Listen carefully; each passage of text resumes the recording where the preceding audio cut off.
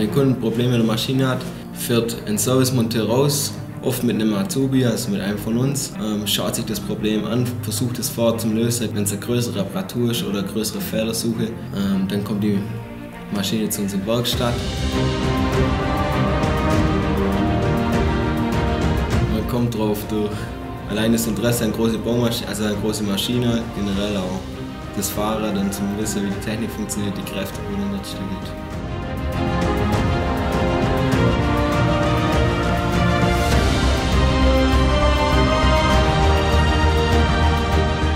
Eigentlich Elektrik und so, das fasziniert mich schon, wie man durch, mit einem Schalter so ganz große Sachen steuern kann zum Beispiel. Dass man die nicht mit dem Lenkrad steuern muss, sondern nur einen Joystick hat.